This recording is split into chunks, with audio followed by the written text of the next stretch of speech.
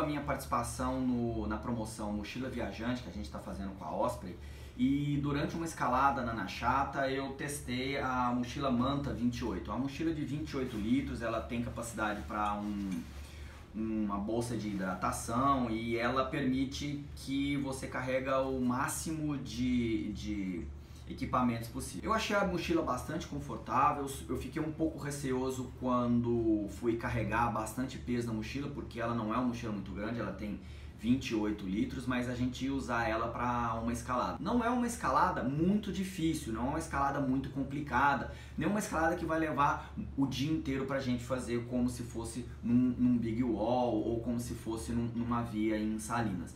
Porém, é, eu gostei bastante da mochila. Eu acredito que para a caminhada a, a bolsa de hidratação ela eu, causou bastante estranheza. Eu não estou acostumado a, a, carregar a bolsa de hidratação. Geralmente eu carrego o cantil separado na mochila.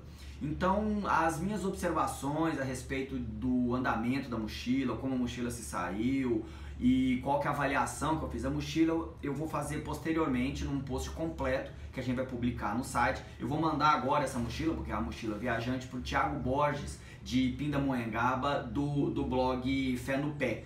Então, Thiago, cuida bem da mochila que ela tá indo para você.